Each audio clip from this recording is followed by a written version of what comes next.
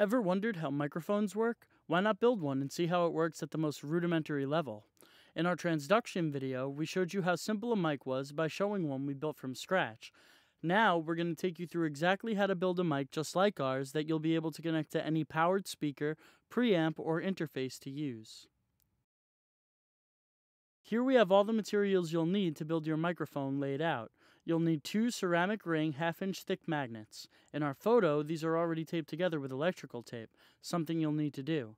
In addition, you'll need one quarter inch by two inch zinc fender washer, one half inch by two and a half inch zinc fender washer, one 1032 metal washer, one 1032 hex nut, one 1032 by 1 socket head cap screw, 30 feet of 32 gauge magnet wire wrapped around something tubular, we used a tube of chapstick, a plastic straw, and a 20 ounce plastic cup with a lid. You may also want to have a screwdriver and some kind of vice grip handy to help with the magnet assembly. In addition to building your microphone, you'll also want to test it. For this, you'll need a standard XLR cable, wire cutters, two pairs of alligator clips, and some kind of powered speaker, preamplifier, or audio interface to connect the mic to. So now that we have all our materials, let's start building the mic. The first thing we want to do is put our magnet together. Here you can see the two ceramic ring magnets taped together with electrical tape. Take the 1032 washer and place it onto the screw. Then, take the quarter inch by 2 inch washer and the half inch by 2.5 inch washer and place them on either side of the magnet, making sure that each covers a respective ring. Once that's done, take the screw and insert it through the hole of the quarter inch by 2 inch washer from the outside. This can be a little bit tricky since these magnets are powerful and your screw is metal, so it'll tend to stick to the side of the magnet. Once you've gotten the screw all the way through the magnet, screw the nut on from the opposite side you placed your screw through to lock it in. This is where you may want to use a screwdriver and a vice grip to help you. You may also wind up taking off the half inch by two and a half inch washer, which is perfectly fine. Just remember to place it back on when you're finished. Again, take extra care to make sure your nut is locked on tightly so that the main part of your mic is as sturdy as possible. This magnet is our transducer for the microphone. Place it inside the plastic cup as shown here. This cup acts as the body of the mic, housing the magnet. Now that your magnet is done, let's make the mic's coil. Unroll a bit of the magnet wire before wrapping to act as one of the leads. Then, begin to wrap your coil around the straw. If you're using a straw with a bend in it, make sure that you're wrapping on the side of the straw without that bend. Take care in making sure your wire is wrapped snugly around the straw and that you leave enough room at the end for a second lead, about 6 inches to a foot.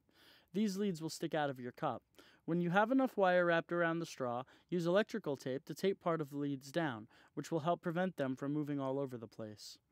Use a key to scrape enamel off both leads, about 2 to 4 inches worth. If you have it, sandpaper also works really well for this. Make sure you're scraping gently and rotating the wire as you go to make sure you get all sides. Furthermore, we put a piece of white paper down to make sure that we didn't scratch the table we were working on. Stripping the enamel off this wire will allow us to connect directly to the conductive copper, which we need in order to transmit an electrical signal from our mic to a receiving device. Now that our leads have been stripped and our transducer and coil are ready to go, let's put all our materials together. Take the straw and place the side opposite the leads through the plastic lid. If there's a bend in the straw, make sure you place the lid past that. Then, place the straw down so that the screw goes through the opening, as shown here. Pull the leads out of the side of the cup and snap on the lid. Congrats, you have now built a fully functional moving coil microphone. Now that our microphone is built, let's test it out. In order to connect your mic to an XLR input, the standard connector for a microphone, you need to make a cable with an XLR male plug at one end and a bare wire with alligator clips attached on the other end to connect to the leads from your cup. Using wire cutters, first cut off the female connector of an XLR cable.